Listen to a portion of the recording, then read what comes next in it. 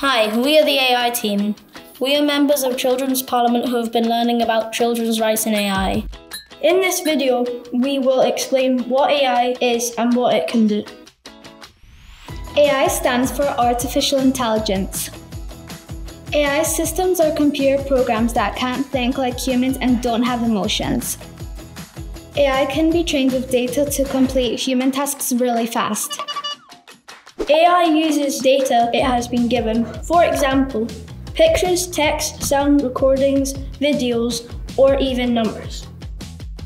It's like a recipe. The ingredients are the information put into the AI system, the instructions are the algorithm, and the finished product is the output.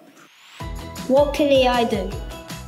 Four types of tasks AI is good at are predicting, suggesting, classifying, and generating.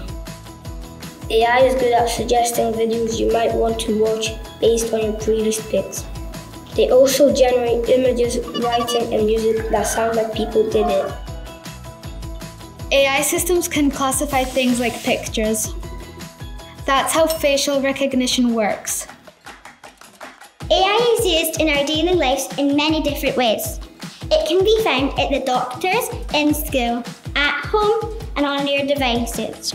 For example, AI can be used with healthcare in deciding what medicine is best for you and your health. AI can help doctors when they're giving diagnosing or giving medicine to patients. Thanks for listening. Now you know about AI and what it can do.